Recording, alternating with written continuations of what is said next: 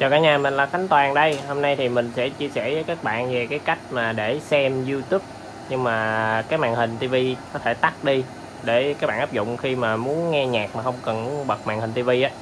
Thì cái model TV hôm nay mình đang ờ, tương tác nó là TV Sony mã là KD43X 8000E.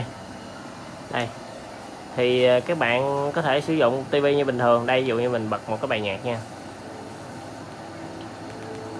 đó. Mình hay dùng cách này để ờ, bật nhạc đi ngủ cho mấy đứa nhỏ. Đó. Thì mình bật nhạc. Sau đó các bạn tương tác ở trên cái remote nè. Các bạn bấm vào cái nút action menu. Các bạn bấm một cái. Thì lúc đó các bạn sẽ thấy nó hiển thị lên một cái menu. Trong đó có cái chức năng đầu tiên đó là tắt hình. Đó các bạn chỉ cần chọn vô chức năng đó. Thì à, lúc đó màn hình sẽ báo là ảnh tắt rồi nó tắt màn hình đi cái âm thanh vẫn còn đó bạn nghe không? Mình có thể vẫn tăng âm lượng được. Đó. Màn hình nó không có sáng lên ha.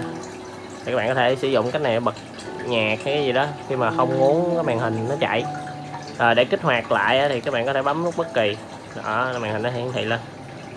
Ok thì à, nếu các bạn thấy video hay hữu ích thì giúp mình à, like share subscribe kênh để ủng hộ nha. Chúc các bạn ngày vui vẻ. Bye bye.